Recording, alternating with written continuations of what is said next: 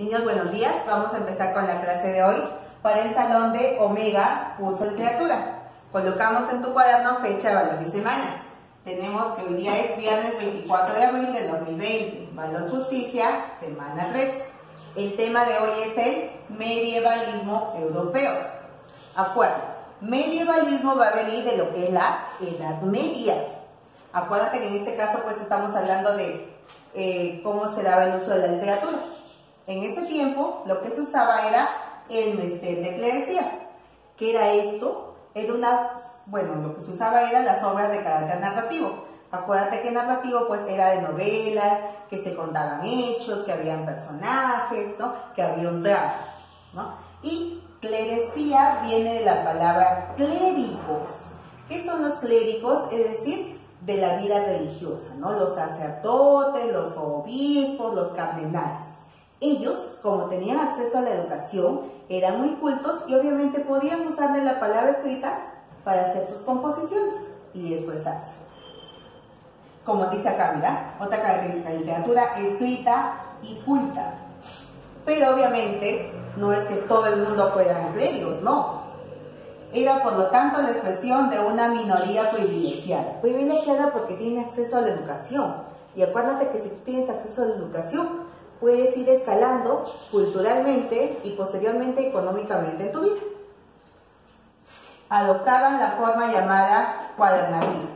Y los temas de los que hablaban, acuérdate que era eh, la Edad Media, donde lo más importante era Dios, obviamente. Los temas van a ser las vidas de los santos o los milagros de la Virgen.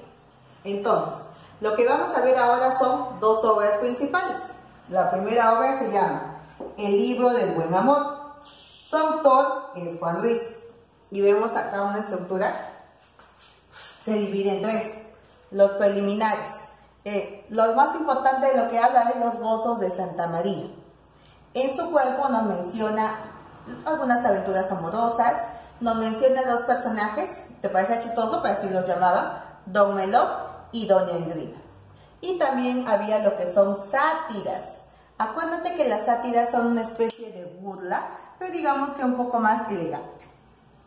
En la última parte se denomina laminares. Y ahí te decían, ¿cómo debes entender este libro? Y nos hablaba de las composiciones a la Virgen. Entonces, vamos a la segunda obra. La segunda obra es Coplas a la muerte de su padre. El autor es Jorge Manrique, género lírico, especie elegía.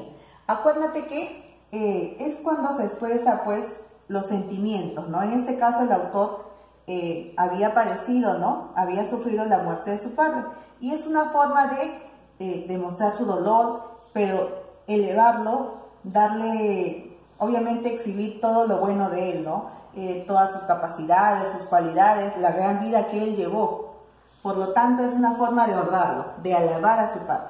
Entonces, es, esta obra es una reflexión sobre la vida, la fama, la fortuna y la muerte con resignación cristiana.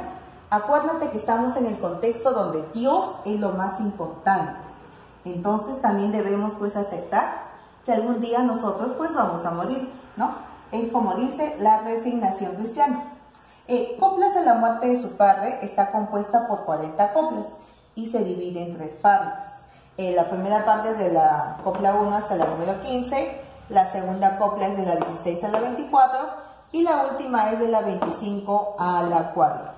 Entonces, eh, acuérdate que tienes YouTube, tienes videos, no es necesario que leas, si es que no lo prefieres, obviamente, y puedes colocar en YouTube medievalismo europeo, o puedes poner el libro del buen amor, o puedes poner coplas de la muerte de su padre, y pues con imágenes te van a ir explicando también el tema. Y así pues tú vas a entender mejor. Que tengan buen día, gracias. Hasta